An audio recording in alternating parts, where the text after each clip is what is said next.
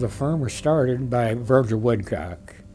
Uh, he and Larry Phelan both worked for a patent attorney called Cornelius D. Ehret in Philadelphia.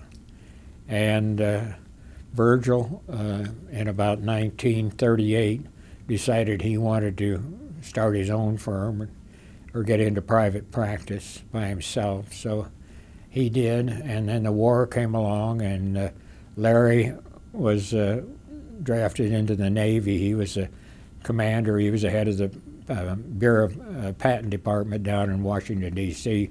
for the Bureau of Ships.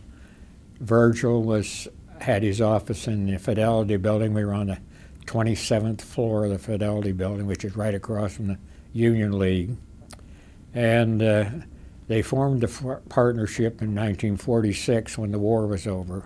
I came in uh, September 1 of 1948.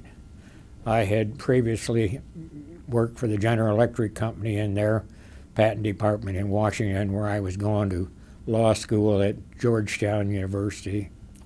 And uh, I had been an engineer for GE in their small fraction horsepower motor division in Fort Wayne for five years during the war. And then I came to Washington to go to law school.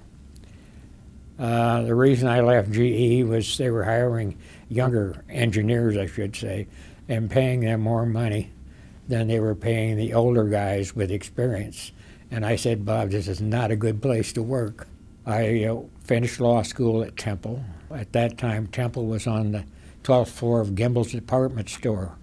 So during my years of practice, and the lawyers would talk about their colleges where they went. I would always tell them I graduated from Gimbel's department store.